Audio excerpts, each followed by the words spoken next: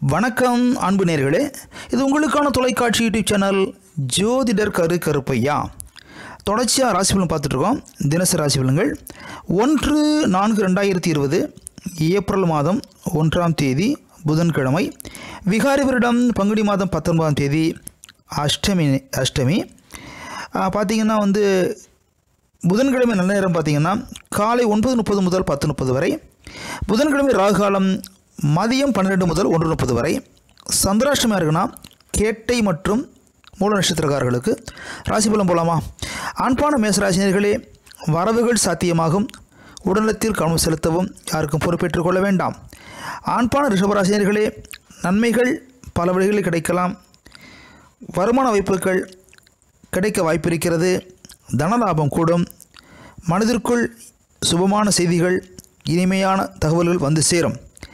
ஆண்பான மீனராசிரியர்களே சாந்தமான சூழல் ஏற்படும் உடல்நலம் சீராகும் மருத்துவ சூழல் கட்டுக்குள் வரும் குடும்ப உறவுகள் கூடுதல் பலன் கொடுக்கும்.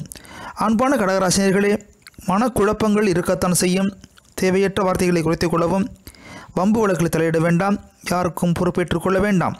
ஆண்பான சிம்மராசினியர்களே உடல் ஆரோக்கியம் சீராகும் கணவன் உறவு பலப்படும் குடும்பத்தில் நண்பர்கள் வழியிலே சுபமான செய்திகள் தொலைபேசி வழியாக கேட்கக்கூடிய வாய்ப்புகள் வரக்கூடிய வாய்ப்புகள் அமையும். அன்பான கன்னிராசினிகளே கோபத்தை குறைத்து கொள்ளவும் உடலத்தில் கவனம் செலுத்தவும் ஒரு சிலருக்கு உடல் வலி கைகால் வலி ஏற்படலாம். யாருக்கும் பொறுப்பேற்றுக் கொள்ள வேண்டாம். ஆண்பான துளாரசியர்களே வெற்றிக்கான வாய்ப்புகள் வந்து சேரும். உங்களோட தகவல்கள் சாத்தியமாகும். ஒரு சிலருக்கு பணவரவு வரக்கூடிய வாய்ப்புகள் நிறையவே காத்திருக்கிறது. அன்பான விருச்சிக ராசினியர்களே லாபத்திற்கான சூழல் ஏற்படும் தனலாபம் கூடும். ஏற்றுமை சம்பந்தப்பட்ட செய்திகள் சாத்தியமாகும்.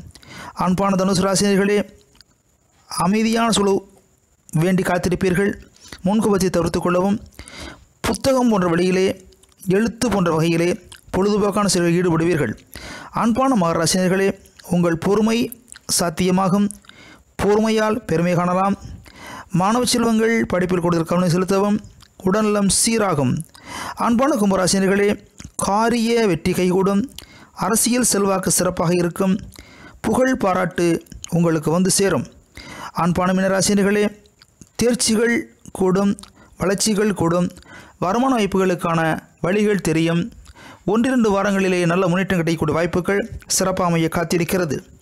அன்பானியர்களே உங்களுக்கான சிறப்பான ஜோதிடசின்னு கேட்டிங்கன்னா பொதுவாக ஜாதகத்தில் செவ்வாய் பகவானும் சந்திர பகவானும் சேர்ந்திருந்தால் செவ்வாய் பகவானும் சந்திரபவனும் சேர்ந்திருந்தால் திருமணத்தடையை ஏற்படுத்தலாம். திருமணத்தடை ஏற்படுத்தலாம். மீண்டும் உங்களை சந்திக்கிறோம் கொண்டு விடைபெறுகிறோம். நன்றி வணக்கம்.